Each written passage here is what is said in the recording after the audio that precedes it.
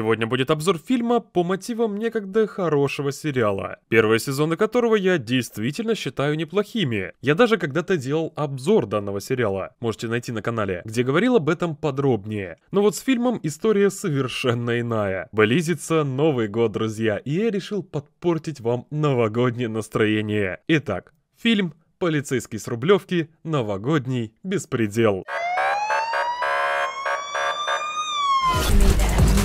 Give, me that money.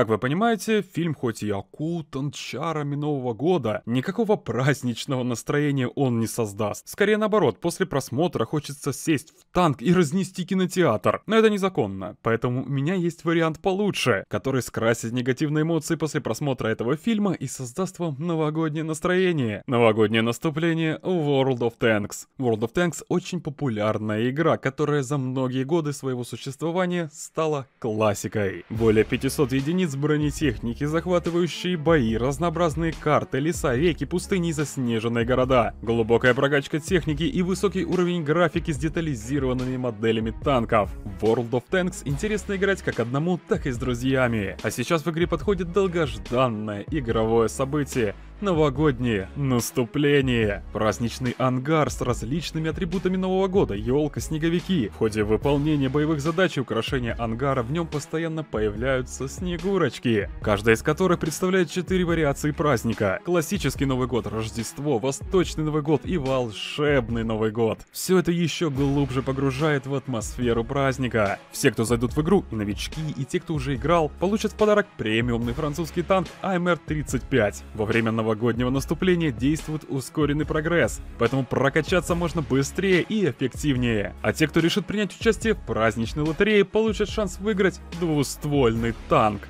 В общем, сейчас самое подходящее время, чтобы начать играть, если раньше не играли вовсе. Почему? Потому что при регистрации по ссылке из описания новички получают бонус 400 тысяч кредитов, легкий премиум танк Т2 ЛТ и неделю премиум аккаунта. Заходи в игру и вступай в бой. Фильм начинается будто сказка. Здравствуй, дорогой зритель. Я расскажу тебе новогоднюю сказку. Ну и бредятина.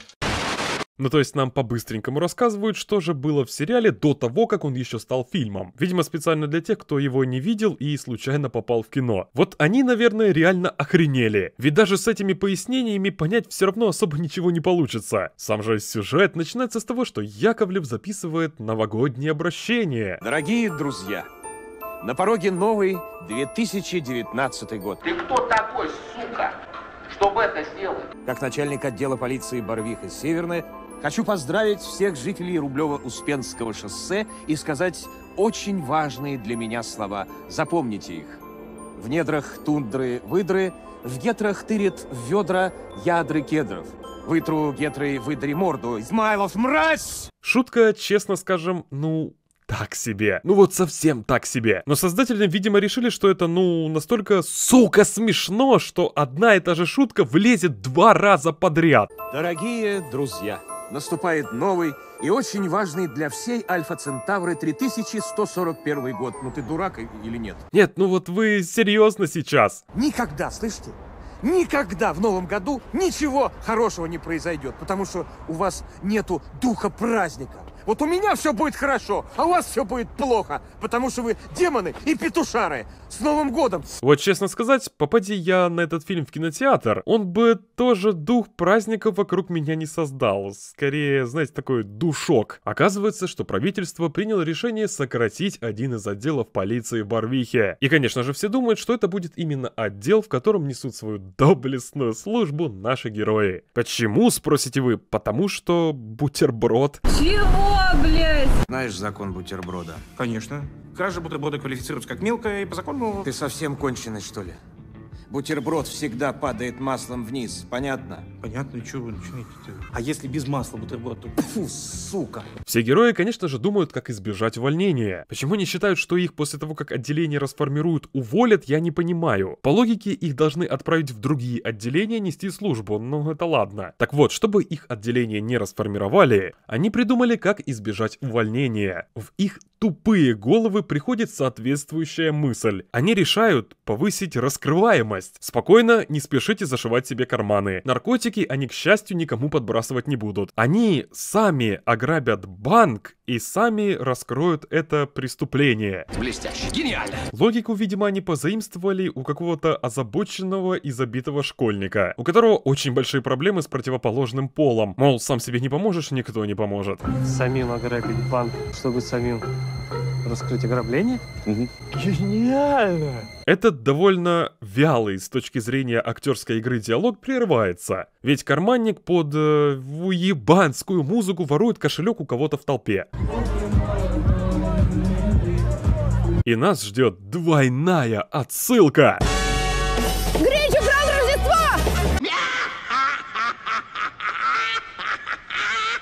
Славная шутка.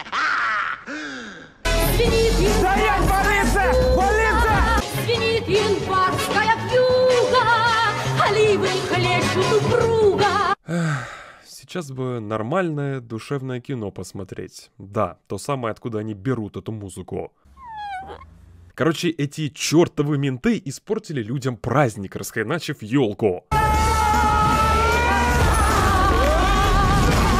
Тем временем нас продолжают бомбардировать отсылками. У нас пропал какая гадость. Это ваша заливная рыба. Пока Яковлев сначала растекался по дивану, а потом, видимо, пытался представить себя в роли главного героя фильма Эйс Вентура. И так как я уважаю этого актера, надеюсь, он когда-нибудь выберется из этой жопы и будет сниматься только в хорошем кино.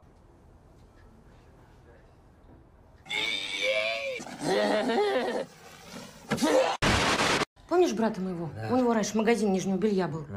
Сейчас он массажный салон открывает. Ну, можно к нему, если что, в службу безопасности. Че несешь-то, Наташ? Ты, ты вообще что? Ты, ты мне без пяти минут генералу предлагаешь рукоблудни охранять, что ли? Да ты хоть представляешь вообще, что там происходит в этих массажных салонах? У нас вон один после работы пошел массажный салон, на кушеточку прилег и опомнился только тогда, когда холостыми детьми в потолок выстрелил. После разговоров о дрочке в массажном салоне, которые вообще-то нахрен тут не нужны, мы попадаем в кафе, где Измайлов принес несколько вестей бывшей проститутки. Во-первых, он рассказывает, что решил жениться на Алене. А еще спрашивает, будет ли она изображать из себя Снегурочку, когда они всем отделением будут грабить банк. Реагирует она, кстати, на эти вопросы, видимо, по старой памяти, как настоящая профессионалка. Ну, то есть старается не сглатывать. Измайлов хочет взять в жены Алену, но то ли сомневается, то ли стесняется, я так и не разобрал, если честно. Потому что уровень великолепной актерской игры просто зашкаливает нахрен. Ален, Что? ничего.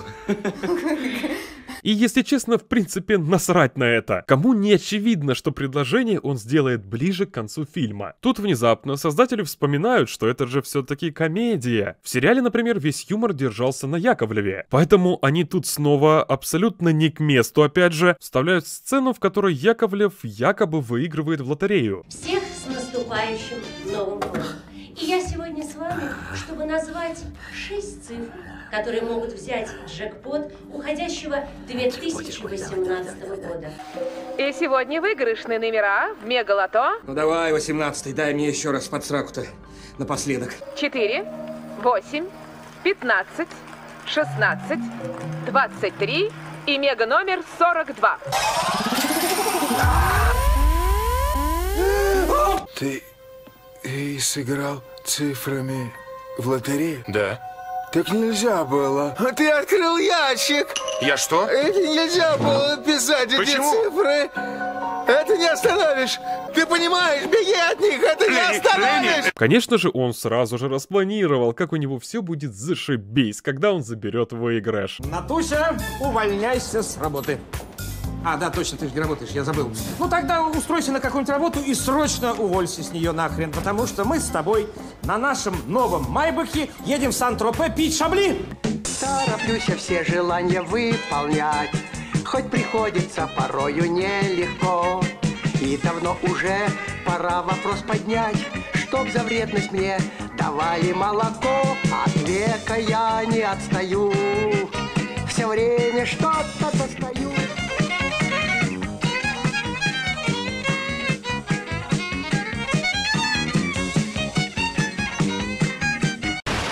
Но в итоге, естественно, выясняется, что он ничего не выиграл. Это был розыгрыш, но только не лотерейный розыгрыш, а розыгрыш, который подстроил Измайлов. Да ничего ты не взял, Володь, разве только что на клыка. В смысле? Я сфоткал твой билет, узнал э, номера, записал видос, встроил в телек э, чип э, с таймером. Ну, чтобы вот в определенное время вместо канала видос шел.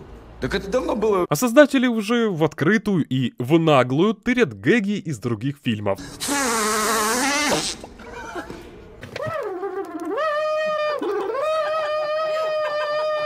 Я могу играть так весь день. Вот это уже, кстати, нельзя назвать отсылкой. Всю вот эту нахрен ненужную и, ну вот, ну ни капли не смешную сцену не вытягивает даже отыгрыш Бурунова. Это настолько плохо, но это просто срань глупая и не смешная. Короче, все полицейские собираются в темном помещении и обсуждают план ограбления. Но создателям, видимо, было лень придумывать хоть какой-то интересный план ограбления. Зато будут отсылки. Вообще круто ты, конечно, все обставил. Склад этот снял. Реально, как бешеных псах прям. Что ты сказал? Извини, не догнал.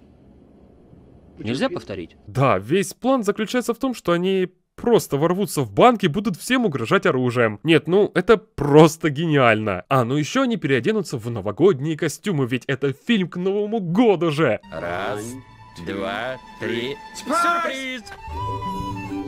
Ты похитил ирландского карлика?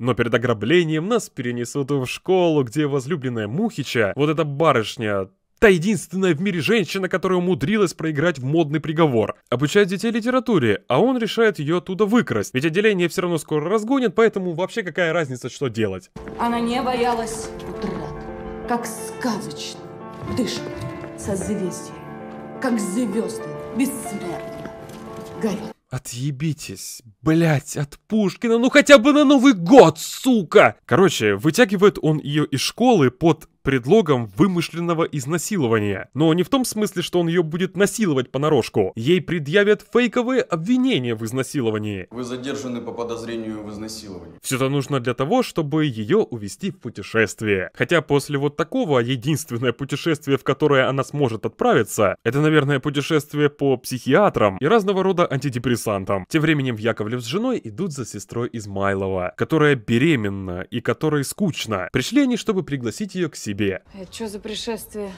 Одевайся, мы забираем тебя на Новый год. Открой! Эта сцена снова длится просто, ну, неприлично долго. Уже стал засыпать не только я и все зрители, но и еще и герои внутри фильма, блин. Володя вот на работе сутками был. Я помню, как одиноко было.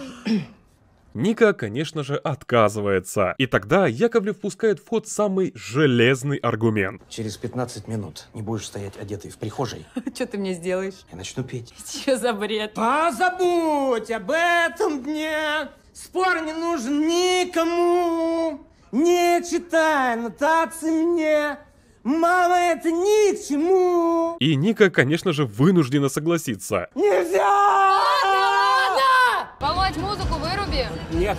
Пидора ответ.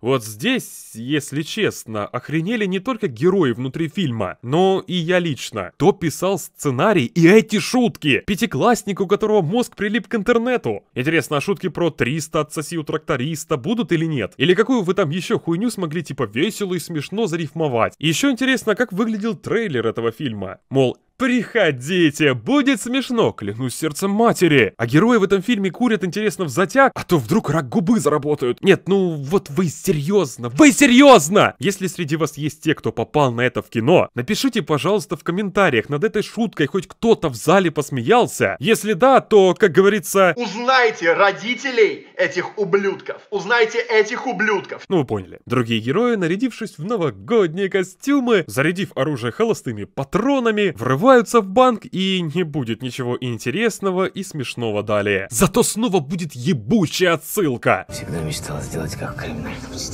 Знаете, чтобы фильм «Полицейский с Рублевки. Новогодний беспредел» выглядел максимально ничтожно, я вам сейчас покажу сцену из оригинала. И, пожалуйста, обратите внимание на актерскую игру.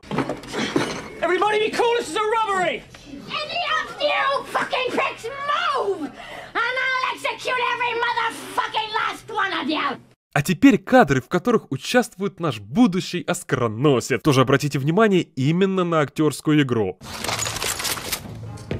Никому не двигаться, это ограбление! Если хоть одна падла дернется, я завалю вас нахрен всех до одного.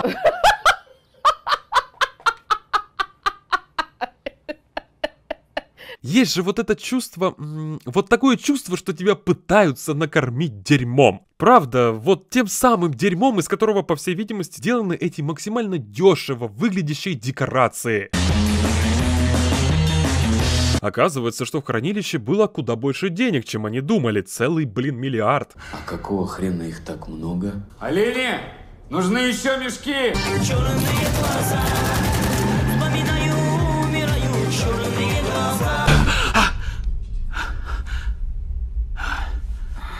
чем дело? Все нормально. Просто кошмар приснился. Тем временем Яковлев с женой и Никой застряли в лифте, и выбраться им оттуда даже животворящий крест не помогает. Я боюсь замкнутых пространств! Ты что? С каких пор? Замуровали. Замуровали. Демоны. Яковлев, кстати, говорит, что во всем виноват подрастающий Измайлов в животе Ники. Все усиливается. Там же, там же ай, второй. Это Омен, Омен, Наташа. Сам ты Оман, Володь. Говорит он это уже не первый раз. Послушай меня внимательно, это очень плохое сочетание имени и фамилии. Чувствуешь, ты чувствуешь, чем пахнет?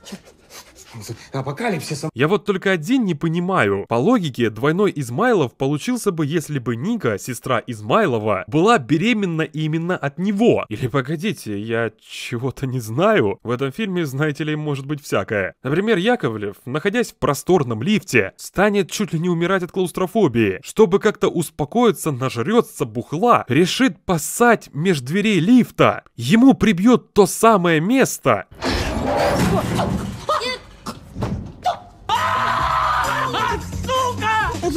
пришествие Измайлова, помогите, люди! Из-за этого ему сделают обрезание. Я бы рекомендовал, в избежании возможных неприятностей, небольшую процедуру.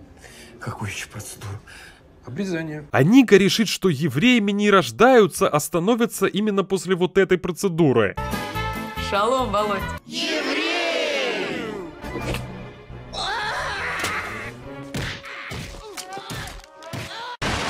Если вы думаете, что обрезание как-то повлияет на сюжет, то, во-первых, к счастью, нет. А во-вторых, да, это сцена ради сцены, которая просто тянет, сука, хронометраж. Кого она развеселит способна, я даже не знаю. Длится она, к слову, практически 15 минут. Яковлев узнает, что произошло ограбление банка, и понимает, что это шанс сохранить отделение. А как раз по плану придурков, он и Мухач должны расследовать это дело. Яковлев перехватывает Мухича прямо на перроне, и мы узнаем, что проводницы и шлюхи это практически одно и то же. Я никого не осуждаю. У меня у подруги вообще муж к соседу ушел. Слушай, ты-то откуда здесь нарисовалась? Ты в курсе, что проводницы занимают второе место по венерическим заболеваниям среди всех профессий? А первое кто? Проститутки. Оказывается, что деньги были украдены у владельца фармацевтической компании. И Яковлев на пару с человеком, рядом с которым ты точно не переживешь голодный год, отправляется к нему. Живет этот богач, кстати, в таком доме, как бы его описать. Ну вот, если бы Эрмитаж трахнул сельскую модницу, она бы родила вот этот дом. Интересно, сколько такой стоит? Полтора миллиарда. Остальные менты тем временем подбрасывают Яковлеву подсказку. И высококалорийный мент вместе с ним мчатся к гаражу, в котором лежит следующая подсказка. Что у нас там по плану? Гараж скроют, найдут следы протекторов. Наши костюмы и пачку денег типа обронили. Яковлев станет искать ближайшие видеокамеры. И на одном из перекрестков наткнется как раз на этот фургон с номерами, которые приведут его к человеку, прописанному в небольшом домике. А почему деньги нельзя было спрятать прямо в этом гараже? Они бы их нашли, дело раскрыто. Что, блядь, за головоломки какие-то ебаные? А, ну понятно, тогда бы хронометража не хватило. Они очень обрадовались тому, что нашли, поэтому идут торжественно отпраздновать это в шаурмичную. Яковлев отказывается это жрать, а Мухич вынужден это съесть. Здравствуйте, а у вас есть шаурма? Сейчас сделаем, уважаемый. Конечно же, ему припекает в туалет, а бумаги поблизости не оказывается. И он пускает в ход купюры, которые обнаружились на месте преступления. Ведь до этого он на них пытался купить своей даме сердце серьги. Но деньги оказались фальшивыми, поэтому их не жалко. Да ладно, мы их и так поймаем. И тут я охренел от происходящего еще раз.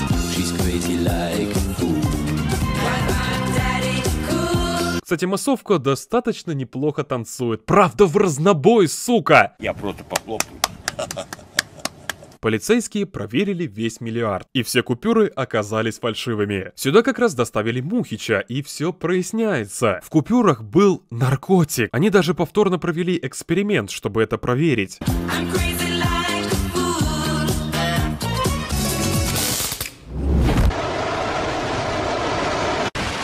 В общем, это большая афера, наркокартель и одновременно удача. Ведь сейчас они раскроют это дело и отдел не расформируют. Да к тому же хозяин этих денег похитил Кристину, в общем вся туса отправляется туда. И завязывается перестрелка. Но так как деньги фальшивые, то и перестрелка будет фальшивой. В том смысле, что полиция стреляет в преступников холостыми патронами. Патроны-то холостые!